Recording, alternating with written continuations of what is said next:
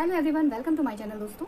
दोस्तों, आज की वीडियो फिर से मैं हेयर केयर पे बनाने जा रही हूँ, क्योंकि बहुत सारे कमेंट्स आए हैं मेरी वीडियोस पर कि उन्हें मेरे जो भी वीडियो उन्होंने देखे हैं हेयर केयर पर, उन्हें कोई भी फ़ायदा नहीं हो रहा है या जो भी कुछ उनके अपने प्रॉब्लम्स हैं, उन्हें ट्रस्ट नहीं हो रहा है कि होगा कि नहीं होगा हेयर फॉल रुकेगा कि नहीं रुकेगा हेयर ग्रोथ होगी या नहीं होगी, बहुत सारी चीज़ों के। तो मैंने सोचा मैं एक और वीडियो बना देती हूँ। मैंने एक मानसून हेयर केयर पे भी वीडियो बनाई हुई है दोस्तों। आप लोग एक बार उसे भी ज़रूर चेकआउट कर लीजिएगा। काफ़ी सारे टिप्स मैंने उसमें बताए हैं दोस्तों। और ऐसा नहीं है, मैंने अपने ऊपर चीज़ों को पहले अप्लाई किया है, उसके बाद मैंने जो है वीडियो बनाई है। मेरे बाल बहुत ज़्यादा पतले हैं। मेरे बालों की क्वालिटी बहुत ज़्यादा पतली है। बहुत हल्के बाल है मेरे। मतलब एक तो प्लेन हल्के सिल्की बाल है मेरे। ऊपर से टाइफाइड की वजह से जो है मेरे बाल बहुत ज़्यादा झड़ रहे थे दोस्तों। इस वजह से मैंने जो है कुछ फॉर्मूला अपनाया।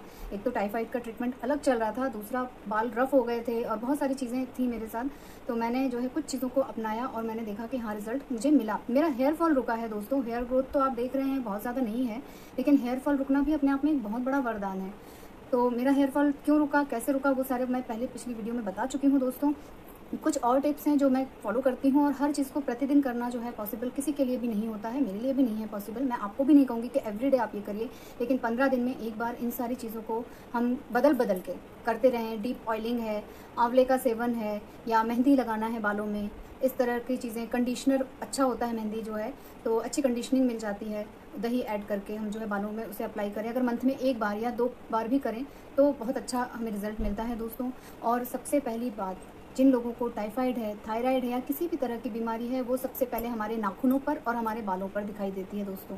तो मैंने पहले भी ये कहा है कि पेट संबंधी समस्या होती है जो भी या शरीर में किसी भी तरह का कोई रोग है तो आपको पहले उसे क्योर करना होगा, तभी आपके लिए कोई भी मेडिसिन या कोई भी डी रेमेडीज़ काम करेंगी। तो सबसे पहले आप इन बातों का ध्यान रखिए। हेयर फॉल की वजह बीमारी भी होती है दोस्तों। और दूसरी चीज़ मैं आप लोगों को बता देती हूँ कि डीप ऑयलिंग ज़रूर कीजिए। डीप ऑयलिंग में हम नारियल का तेल जो है, और कैस्टर ऑयल और तिल का तेल अप्लाई कर सकते हैं, बादाम का तेल मिला सकते हैं, ज़रूरी नहीं सबकी बहुत बहुत मात्रा लेना। आप तीन से चार ऑयल लीजिए और उन्हें जो है अपने बालों की लेंथ या स्ट्रेंथ के हिसाब से आप उसे बना लीजिए मिक्सचर और आप अपने बालों की अच्छी डीप ऑयलिंग कीजिए मसाज करते हुए कीजिए, एक घंटा उसे रखिए। ऑलिव ऑयल ऐड कर लीजिए, पाँच तरह के ऑयल आप ऐड कर लीजिए। डीप ऑयलिंग कर लीजिए और अपने बालों को स्टीम दीजिए ताकि वो ऑयल जो है अच्छी तरह से जड़ों में पहुँच जाए। उससे आपके बालों को एक अच्छा हेल्दी खाना मिलेगा दोस्तों। और दोस्तों, जब हम कोई भी फेशियल या फेस वॉश भी अगर हम करते हैं तो हम दो से तीन मिनट अच्छी तरह मसाज करते हुए करते हैं। उससे ब्लड सर्कुलेशन इंक्रीज होता है। तो वही चीज़ हमारे बालों और स्कैल्प के लिए भी होती है कि हम नहीं कोई चीज़ इस्तेमाल कर रहे हैं तो खाली फिंगर्स को ही थोड़ा दो से तीन मिनट हमने मसाज कर ली अपने बालों पर तो जो ब्लड सर्कुलेशन होता है, वो इंक्रीज होता है। और बालों का जो है झड़ना कम होता है दोस्तों। ज़बरदस्ती किसी भी तरह के हेयर स्टाइल में बालों को कसी नहीं, उन्हें मोटे कंघी से मोटे दांतों की जो कंघी होती है, उससे आप कॉम कीजिए। अपनी कंघी किसी दूसरे के साथ शेयर मत कीजिए। तो ये बहुत सारी तरह की देखभाल है, आप आंवले को खाइए। अलसी जो होते हैं दोस्तों, अलसी को प्रतिदिन अपने खाने में शामिल कीजिए। अगर आपको वो खाना पसंद नहीं है क्योंकि वो लसलसी होती है तो आप एक चम्मच नियम बनाइए कि एक चम्मच उसे बस मुँह में डाला मॉर्निंग में उठने के बाद, और चबाया अच्छी तरह से, और गुनगुना पानी एक से डेढ़ गिलास आप पी लीजिए।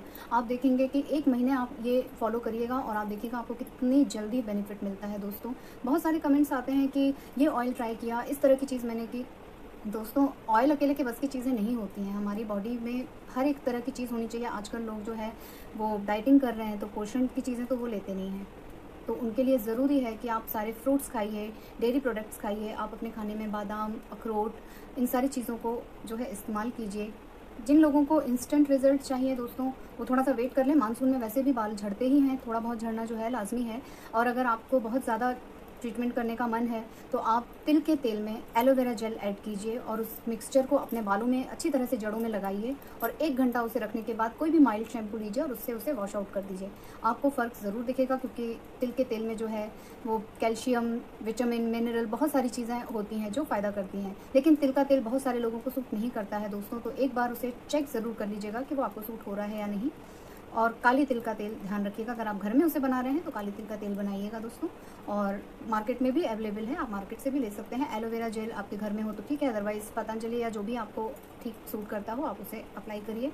आपको ज़रूर फ़ायदा होगा दोस्तों, बहुत सारे हेयर केयर पे आप देखिए, आपको यही सारी चीज़ें देखने को मिलेंगी। लेकिन किसी भी चीज़ को ट्राई करने से पहले आपको अपनी बॉडी की वो व्याधि को भी दूर करना होगा, जो आपके इम्यूनिटी को जो है वीक कर रही है। आपको अपने अंदर देखना होगा, कहीं आयरन, कैल्शियम इन सब चीज़ों की कमी तो नहीं है।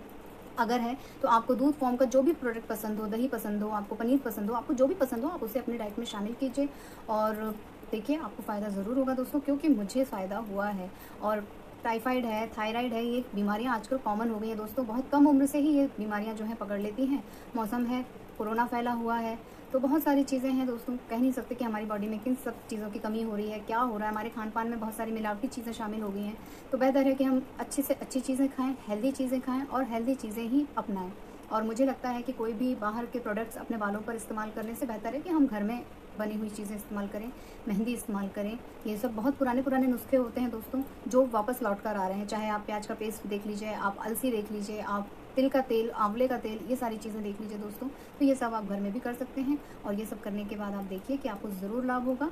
और रही मेरे बालों की बात तो हाँ हेयर फॉल मेरा बंद हो गया है, काफ़ी कम हो गया है और मैं हेयर सीरम रेगुलर यूज़ करती हूँ, एवरीडे यूज़ करती हूँ दोस्तों और हफ़्ते में दो बार अपने बालों को ज़रूर धुल देती हूँ।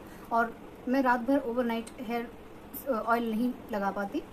तो मैं एक घंटे जो है लगाकर डीप ऑयलिंग कर लेती हूँ मसाज कर लेती हूँ और जब भी मुझे वक्त मिलता है, मैं फिंगर्स से जो है हल्का हल्का हल्का हल्का जो है मसाज करती रहती हूँ स्कैल्प में।